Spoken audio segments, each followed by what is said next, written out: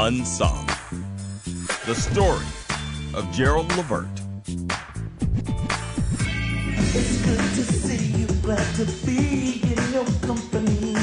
Gerald Levert, one of the all-time great soul singers for our generation. Hold on to me. See, I'm a special kind. His voice was just so big and put chills down your spine. They was the O'Jays of their time. Gerald was the creative mind behind the group. He was writing his heart out, but he could not win the Grammy. Everybody was in his pockets. He needed to pay his own bills. He just drove and drove and drove. You're too fat. Your voice is too big for pop radio. What more do you want out of life than to be successful? What more can you have?